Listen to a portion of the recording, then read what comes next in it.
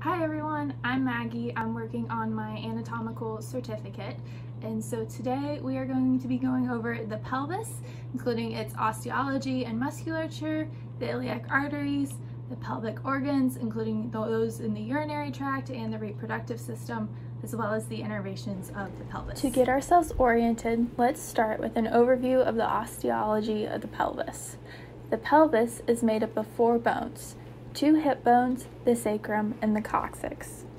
The hip bone, also known as the os coxa, is made up of three bones that are fused together the ilium, the ischium, and the pubis.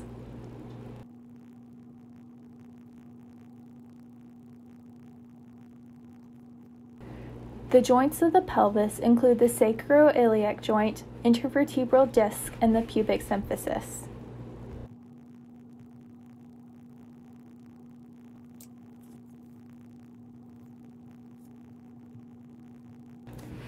Now let's go over some osteology landmarks.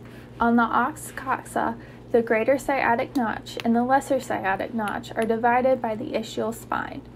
In this medial view, we can see the sacroiliac joint and the pubic symphysis, as well as the obturator foramen and the ischiopubic ramus.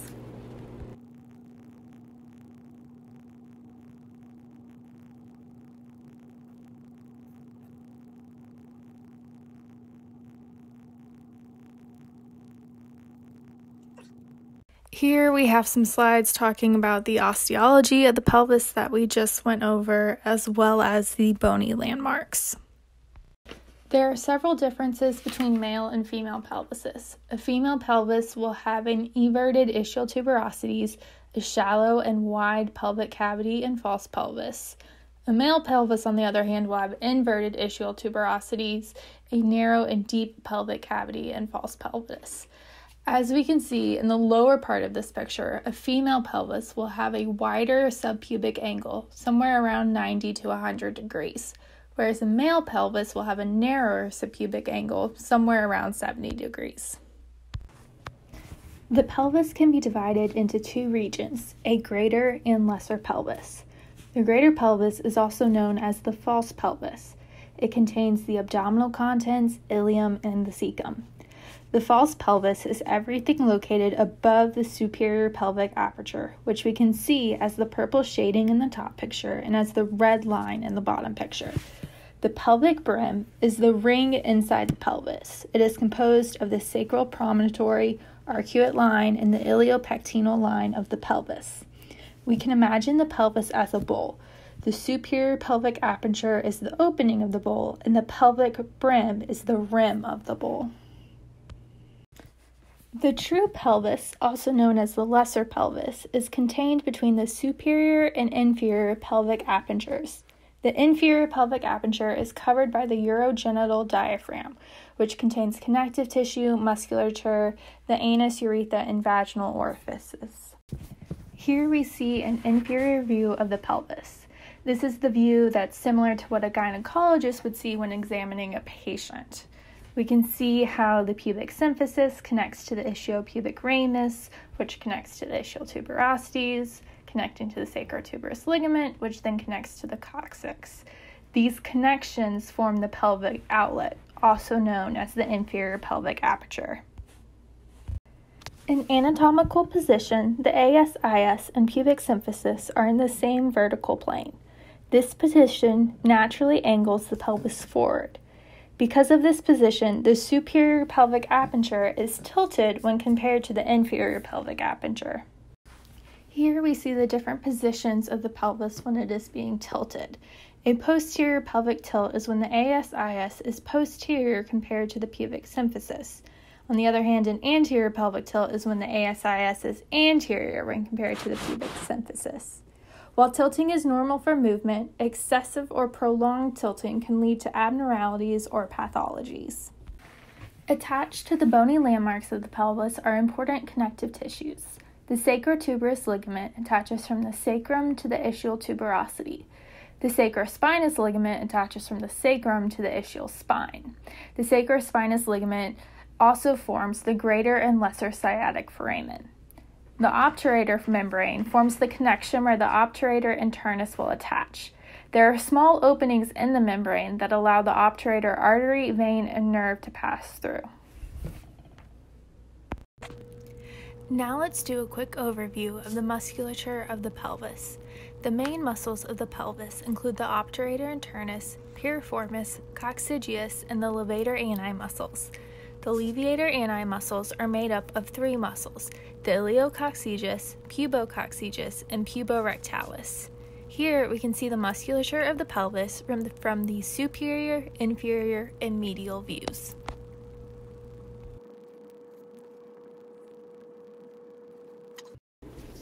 The inner surface of the os coxa is covered by the piriformis and obturator internus, which pass through the greater and lesser sciatic foramen.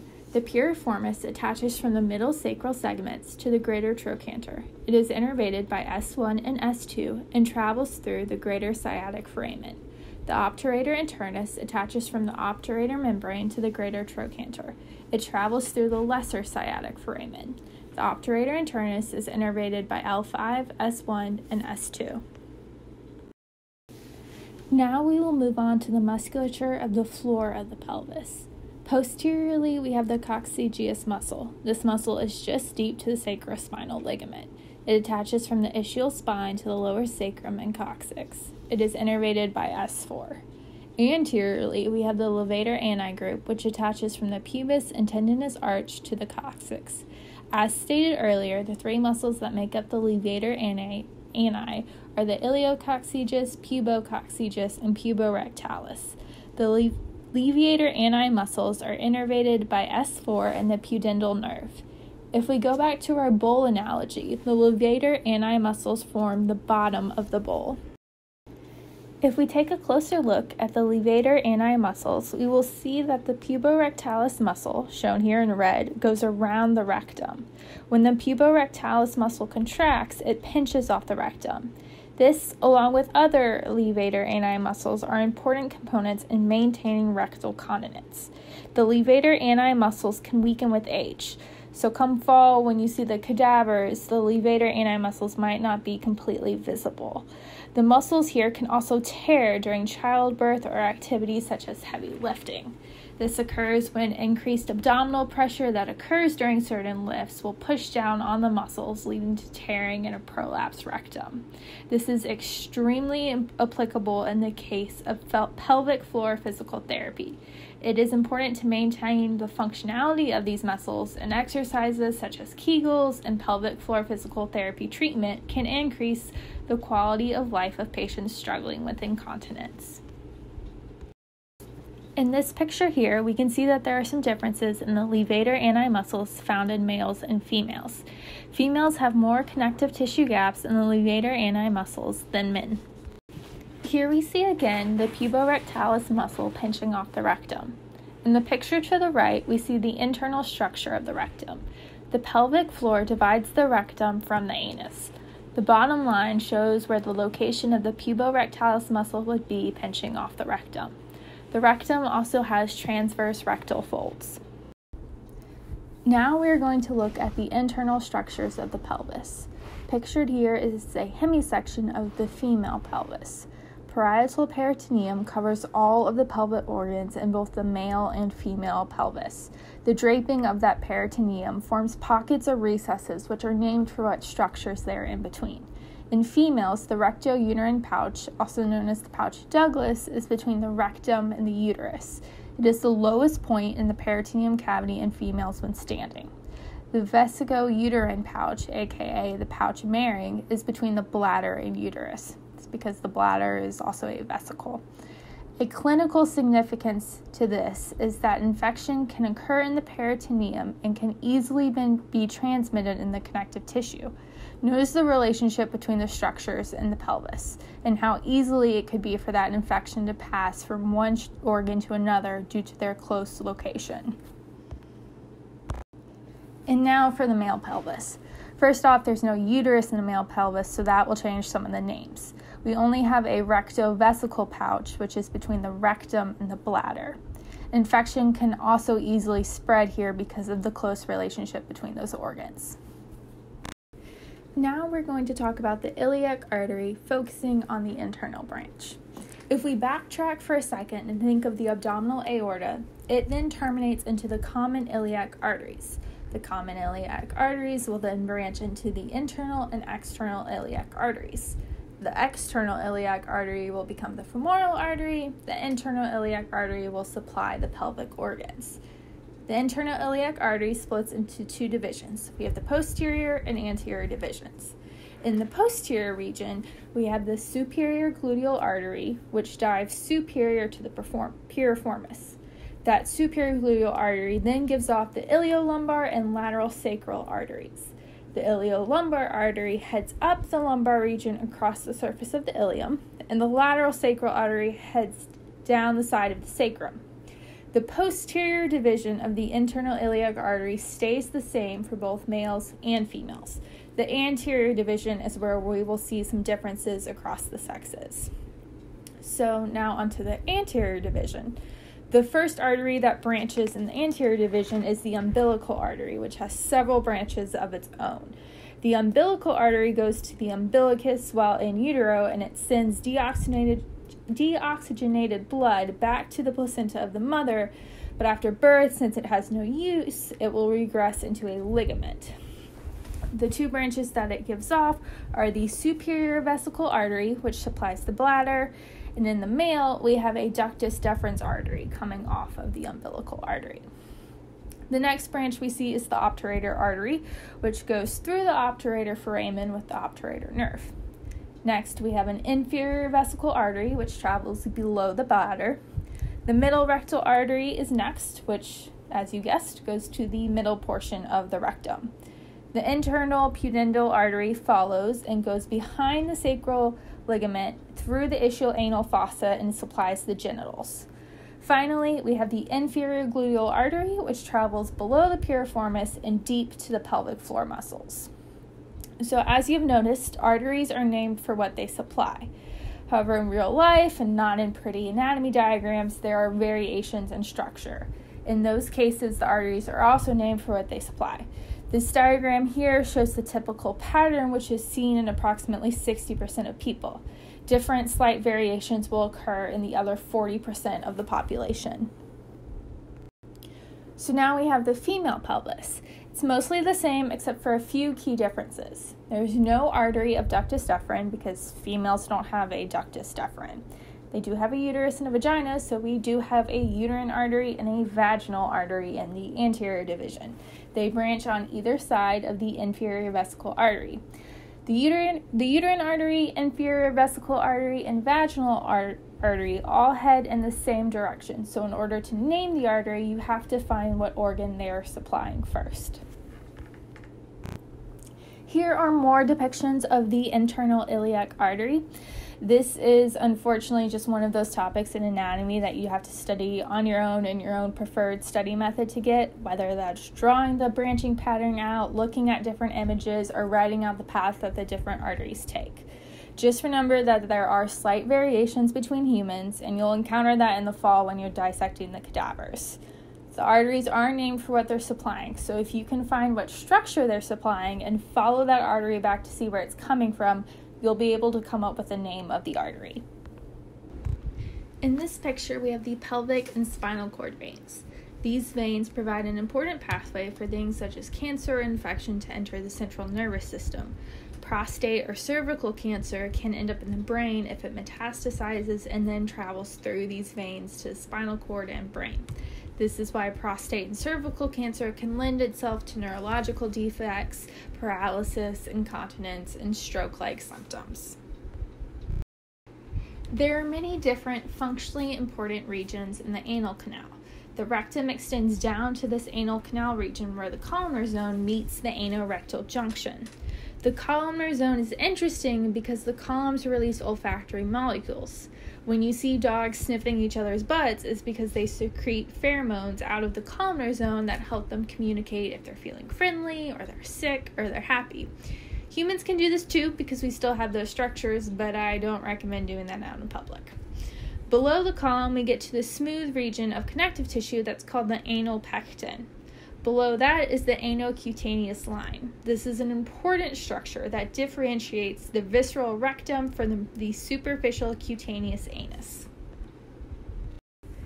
Here we see a posterior view of the pelvis. The sacrum has been removed so that we can see the rectum. It's important to note that the rectum is drained by both the portal and caval systems. Different parts of the rectum will have different lymphatic drainage. The superior rectum drains into the inferior mesenteric lymph nodes. The middle rectum goes into the internal iliac lymph nodes, and the anus drains into the superficial inguinal lymph nodes. This slide here is an important diagram. It shows what changes from the rectum to the anus. We have the anocutaneous line in the dotted pink, which separates the two structures. The two structures have different arterial supply, venous and lymphatic drainage, and sensory and motory innervation. The anal-cutaneous line also divides which structures will drain superficially through the caval system or drain internally through the portal system. This is a great slide that sums up the differences really well. So now we're going to move on to the urinary tract. Where the common iliac arteries bifurcate is where the two ureters will cross the pelvic brim after descending from the kidneys. In the female, the uterine artery will cross over the top of the ureter, whereas in the male, the ductus deferens will cross over the top of the ureter.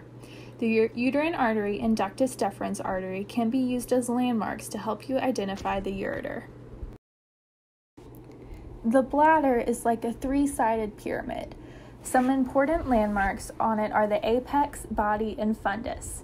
The fundus can be thought of as the base of the pyramid and it will face the rectum in males and the uterus in females. The surface of the bladder is covered in peritoneum. The ureters will drain into the bladder and will extend to the sphincter vesicae in the neck of the bladder. We can now look on the inside of the bladder. Inside, we have the smooth surface named the trigone, and the rest of the bladder is made up of detrusor muscle. The bladder is parasympathetically innervated, which allows it to contract and expel urine out. The sphincter vesicae muscle is the smooth muscle portion at the neck of the bladder, which is innervated by sympathetic fibers. In order for the bladder to fill with urine, the sphincter vesicae must be contracted under sympathetic tone, but to expel urine out, you have to have parasympathetic tone. The process of potty training young children is teaching them how to control the autonomic functions. Here we take a look at the male urethra. The male urethra is longer and more complex than the female urethra. After, after the bladder is filled with urine, the urine is expelled and travels through the urethra. There are several different portions to the urethra. The prostatic portion contains the urethra that is within the prostate.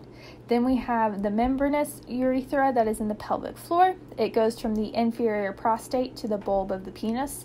It is surrounded by the sphincter urethrae muscle. The spongy urethra is the portion that is inside the corpus spongiosum of the pelvis. There are a couple accessory sexual organs along the urethra that are important. The prostate forms some of the seminal fluid that ends up getting ejaculated, as well as being a smooth muscle that facilitates ejaculation.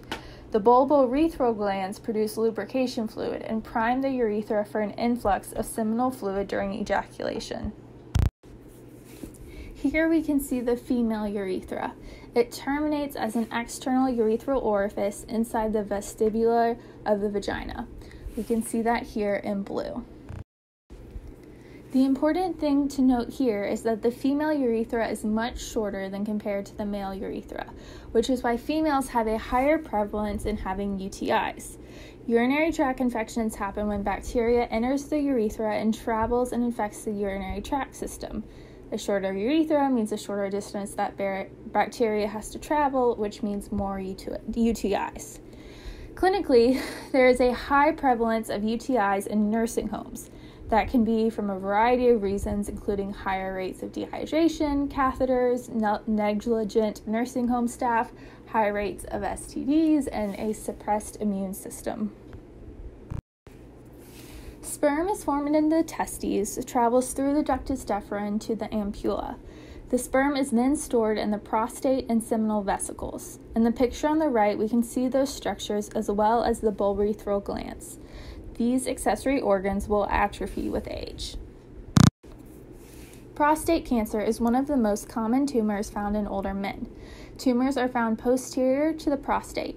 Because of their location, they can be palpated during a rectal exam, which is the most effective way to identify prostate cancer. Here's a picture of that. So now we're going to take a look at the female sexual organs. We have the uterus, vagina, ovaries, and uterine tubes.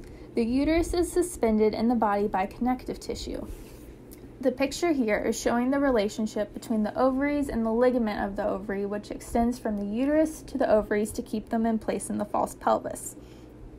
So the uter- ovaries will release the eggs into the false pelvis and hope that the eggs float into the fimbriae, which pick up the eggs and then travel through the uterine tube. The uterine tube is composed of three different regions the infundibulum, ampulla, and isthmus. The isthmus is closest to the uterus and is the smallest portion. Now we're going to take a look at the uterus. We have the fundus on the posterior surface. Moving inferiorly, we have the body and the isthmus, and most inferiorly, we have the cervix. The cervix extends down into the vagina and has fornix around the opening of the cervix into the vagina.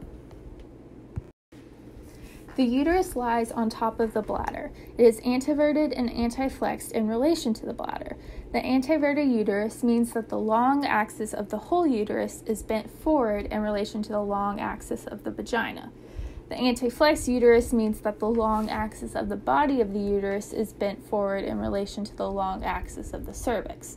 The directions of anteversion and antiflex can be seen here in the red and blue lines. The vagina heads in a superior and posterior direction. It is continuous with the uterine cavity. The cervix protrudes into the vagina, surrounded by anterior and posterior fornices. The vagina also has a distal opening into the perineum. Here we are looking at the broad ligament, which is the peritoneum that drapes over the uterus. It has different portions and names for the different regions and is named depending on what it's overlying. The anterior portion of the broad ligament extends over the bladder, while the posterior portion extends back towards the rectum. The portion that rests on top of the muscle of the uterus is called the mesometrium. The portion that drapes over the uterine tube is called the mesosalpinx and the portion that drapes over the ovaries is called the mesovarium. The ligaments of the uterus provide support to the uterus and passage for vessels traveling through the area. Besides the broad ligament, there is also the round ligaments, transverse cervical ligaments, uterosacral ligaments, and pubovesical ligaments. The ligaments are named for what they attach to. The uterosacral ligament heads posterior to attach on the sacrum, providing stability to the uterus. The pubovesical ligaments head around the bladder to the pubic bone.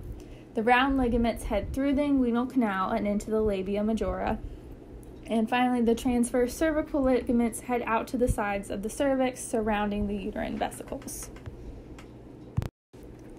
Now we're going to talk about the innervation of the pelvis. We can see here the lumbosacral plexus, which is made up of several ventral rami that form plexuses. The lumbar plexus comes from T12 to L4 and supports the anterior thigh. The lumbosacral trunk is where L4 and L5 merge together and then pass over the pelvis to merge with the sacral plexus. The sacral plexus comes from S1 to S4 and provides motor and sensory innervation to the posterior thigh, lower leg, foot, some of the pelvis, and the perineum. The coccygeal plexus provides sensory innervation to the area around the coccyx. Branches from the sacral and coccygeal plexus will pass through the pelvic cavity, through the greater sciatic foramen, and into the gluteal region through the obturator foramen. Here we can see the nerves of the lumbosacral plexus. This is not quite as complex as the brachial plexus, so that's a wonderful thing. The lumbar plexus begins at T12 with the subcostal nerve. The subcostal nerve is below the last rib, hence the name subcostal. Then you have the iliohypogastric, ilioinguinal, genitofemoral, and lateral femoral cutaneous nerves. The femoral nerve and obturator nerve are part of the lumbar plexus. Your sacral plexus forms the sciatic nerve down the back of the leg. The sciatic nerve is part common peroneal nerve and part tibial nerve. We can also see here the superior and inferior gluteal nerves. They run deep to the pelvis and out to the back. So we don't include them as part of the lumbar plexus because all of these other nerves head laterally and anteriorly, where the superior and inferior gluteal nerves head deep and posteriorly. The sacral splanchnic nerves carry sympathetic innervation to the pelvis structures. They contribute to the inferior hypogastric plexus, which innervates the pelvic viscera. The sacral splanchnic nerves travel alongside the internal iliac arteries. It's important to remember that the sacral splanchnic nerves carry sympathetic fibers. The pelvic splanchnic nerves carry parasympathetic fibers to innervate the abdominal viscera, pelvic organs, and erectile tissue in the perineum. So while the sacral splanchnic nerves carry sympathetic fibers, the pelvic splanchnic nerves carry par- parasympathetic fibers that is all I have for this pelvis lecture. So thank you.